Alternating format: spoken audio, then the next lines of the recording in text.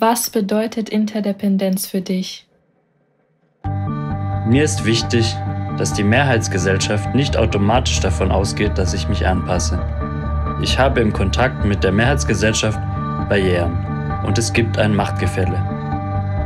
Daraus sollte aber nicht folgen, dass man sich anpassen und die Anpassung erwartet wird. Die Gesellschaft sollte sich mit diesen Punkten auseinandersetzen und die Haltung dazu verändern.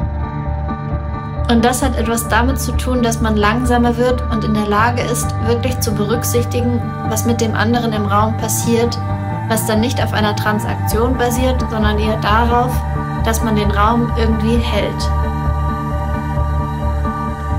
Dass man, wenn man Assistenz bekommt, man die Assistenz ja auch bezahlt, sodass die Assistenz halt auch was davon hat. Und von daher, das ist, glaube ich, auch schon wichtig, weil man sonst äh, eine Abhängigkeit hat und zwar nur eine reine Dependenz, also nur eine reine Abhängigkeit von anderen Menschen aufgrund der Behinderung, äh, was einem eine gewisse Art von Selbstbestimmung nimmt, ähm, weil man diesem Menschen ja dann auch ausgeliefert ist.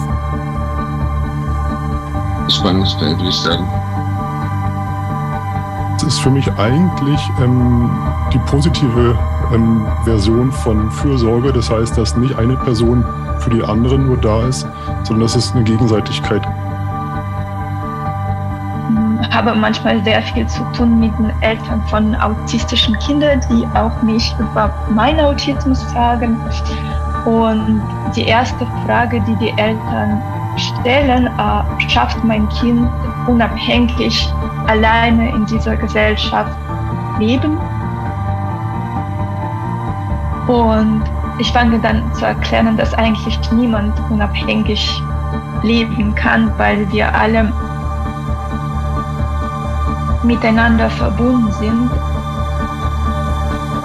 Unabhängigkeit eine Illusion ist. Eine Illusion, die sehr egoistisch ist, eine Illusion, der wir, äh, ja, in der viele von uns aufwachsen und sich der auch erstmal hingeben und wir das versuchen aufrecht zu erhalten. Und dann, wenn wir es schaffen, diese Illusion, diese Blase irgendwann platzen zu lassen und uns eingestehen, dass wir interdependent sind, also alle in einem Netz von vielen abhängigen Knoten miteinander verwoben sind, wenn wir das anfangen, dann gibt es eine Möglichkeit, Empathie zu entwickeln, miteinander und füreinander.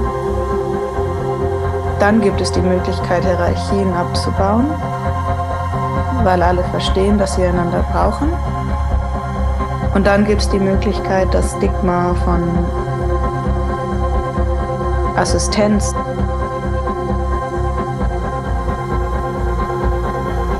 wenn Menschen nicht in Abhängigkeitsverhältnissen und ausschließlich in Bezug auf sich dominant und stark gebende andere Menschen leben können. Am Ende vom Tag sind wir alle einfach Menschen und die Dinge, die immer so dargestellt werden, als wären sie für Menschen mit Behinderung, wie zum Beispiel Barrierefreiheit, wie zum Beispiel eine Rampe, ähm, nutzen eigentlich auch allen anderen Menschen. Also zum Beispiel ähm, nutzt eine Rampe genauso gut einer Frau mit einem Kinderwagen oder einer, einer Person mit einem Kinderwagen ähm, oder älteren Menschen, die keine Treppen steigen können.